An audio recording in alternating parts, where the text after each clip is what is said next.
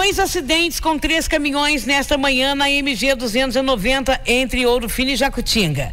O repórter Luiz Guilherme Burza está no local e nos traz as primeiras informações. Bom dia, ouvintes da difusora. Aqui é Guilherme Burza falando diretamente do quilômetro 58 da MG 290. Eu me desloquei até aqui para cobrir um acidente entre dois caminhões. Um deles de Jaguariúna, placas DJQ 4660, um caminhão baú, e um outro, um Trucksider de Itapira, placa BXF 0721. Enquanto eu aguardava o policial rodoviário pegar as informações para poder falar com ele depois e trazer para os ouvintes da difusora, um terceiro caminhão, esse já com essas placas novas do Mercosul, placa AHY 3C79, um bitrem que estava descarregado, vindo é, no sentido Ouro Fino Jacutinga. O motorista se assustou com um acidente anterior e na tentativa de frear acabou perdendo o controle do caminhão. O caminhão saiu da pista aqui e caiu no barranco.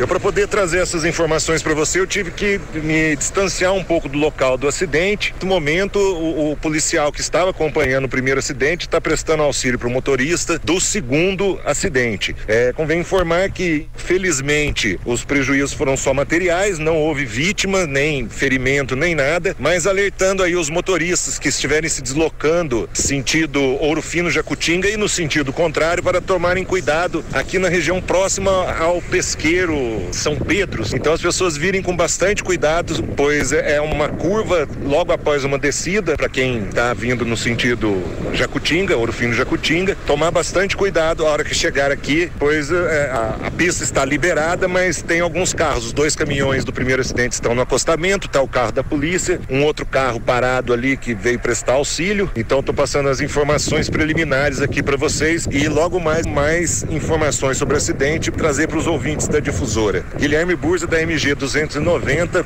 para o jornalismo difusora.